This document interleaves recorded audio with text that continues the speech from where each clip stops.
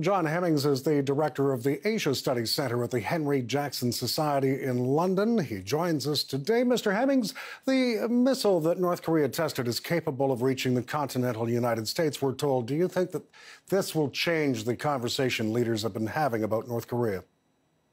Well, I don't think it will change the, the type of conversation. The tempo certainly has changed uh, considerably since uh, they've begun to try to reach the capability to strike the U.S. mainland it, it reaches uh, deeply. I think with on the Hill uh, and Congress, members are, are becoming very um, concentrated on the issue in a way that they weren't before. So certainly, uh, if you're looking at U.S. domestic politics, I'd say that this is certainly the first time since the 1990s when the North Koreans began to try to develop nuclear weapons that the U.S. has taken it so seriously.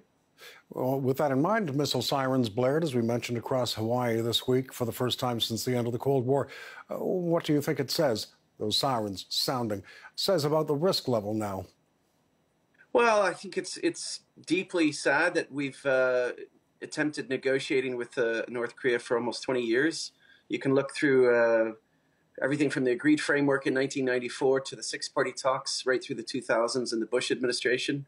It's not for want of trying. Um, my only uh, thoughts as, a, as an analyst are that perhaps we can um, actually try harder on sanctions uh, in, a, in a peaceful manner, get the Chinese on board properly.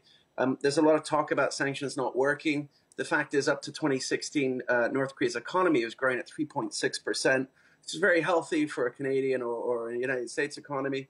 Um, so simply doing more on that route could bring them at least back to the negotiating table and show them that the international community is very serious. So you believe that there is still room for diplomacy in this uh, dealing with North Korea?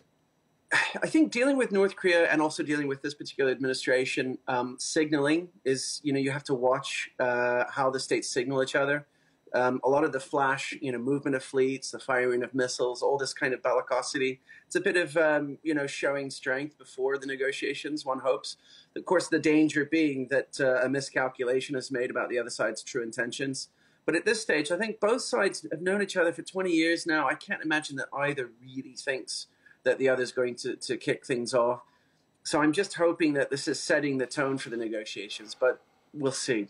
I want to uh, shift to another power in the region, a power uh, that our prime minister is traveling to today, namely China. You wrote in a piece recently that, quote, by avoiding collective security agreements and arrangements in 2008, did we persuade China to behave as a model citizen in that region?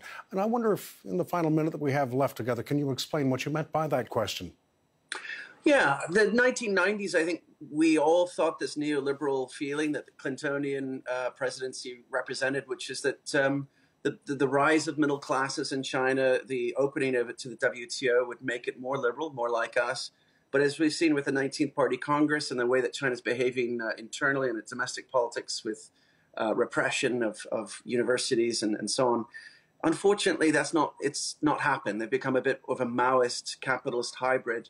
So I think uh, looking to how they, they relate to powers around them in the region, we really have to rethink how we deal with China. absolutely, I don't recommend containment, but certainly smarter engagement. Hmm. John Hemmings, the director of the Asia Studies Center at the Henry Jackson Society, joining us today from London. Mr. Hemmings, thanks so much for this. Thank you.